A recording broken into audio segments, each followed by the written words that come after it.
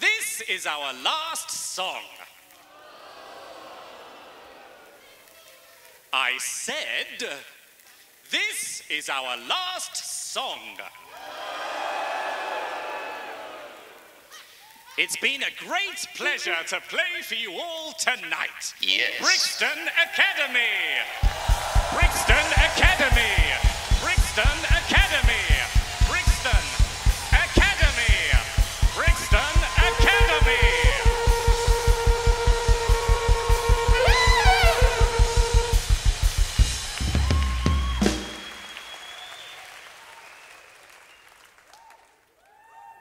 Sorry.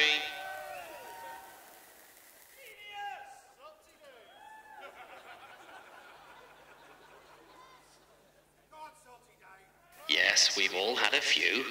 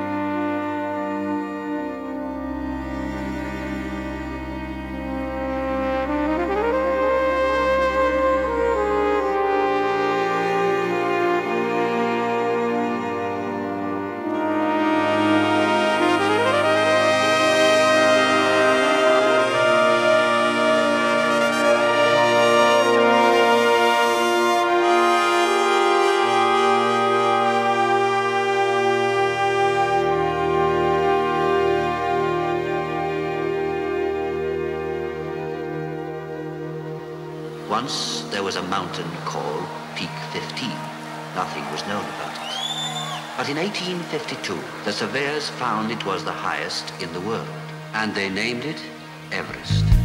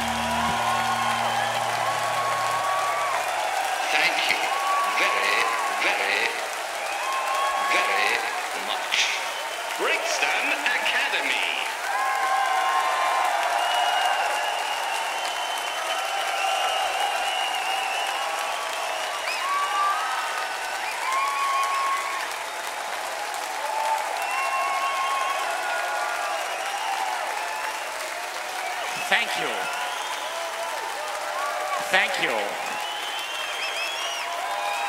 Thank you very, very much. Thank you. Bye.